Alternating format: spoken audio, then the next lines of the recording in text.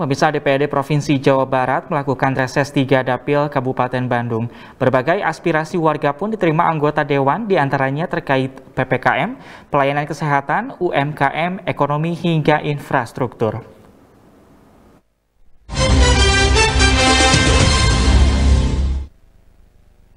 Anggota DPRD Provinsi Jawa Barat melaksanakan reses 3 tahun sidang 2020-2021 di daerah pemilihan 2 Kabupaten Bandung. Beberapa aspirasi disampaikan masyarakat kepada anggota Dewan saat mereka ke lapangan, di antaranya banyaknya terkait dengan PPKM darurat, pelayanan kesehatan, UMKM, ekonomi, hingga infrastruktur menjadi beberapa aspirasi yang disampaikan masyarakat Kabupaten Bandung. Eh, bagaimana pemberlakuan PPKM, kemudian juga banyaknya tentang UMKM, kemudian perekonomian masyarakat yang pada hari ini terdampak COVID-19. Jadi banyak hal yang disampaikan oleh masyarakat.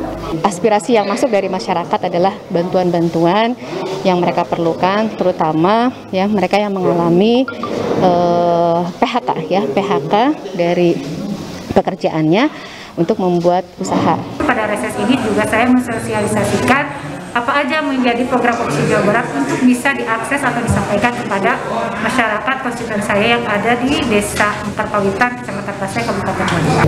Penyerapan pasar itu terkadang eh, sayuran itu langka. Biasanya kalau langka sayuran itu eh, harga mahal. Tapi dengan adanya PPKM dan beberapa aturan-aturan pemerintah, sehingga daya serap pasar itu menjadi rendah keluhan-keluhan yang diterima utamanya mengenai bansos yang kurang tepat sasaran. Jadi sering kali eh, masyarakat yang sudah terdata dari PKH ya harusnya kan itu kan domainnya pusat dibantu lagi dari provinsi. Jadi memang masalah data tentang penerima bantuan sosial di kita ini masih perlu banyak perbaikan ya. Aspirasi masyarakat masih terkait tentu saja di era pandemi ini yang sulit bagi mereka terutama terkaitnya dengan ekonomi. Kemudian juga anak-anak mereka yang uh, tidak bisa hadir tatap muka yang hanya dilakukan lewat daring uh, dan ini juga memerlukan uh, pingin bantuan seperti kuota gratis dari pemerintah. Dan ada penurunan PAD dan ya. mana barangkali Pak Gubernur memprioritaskan mana yang wajib kalau pendidikan saya rasa wajib untuk terus diperjuangkan, terus dikawal, juga kesehatan sangat wajib.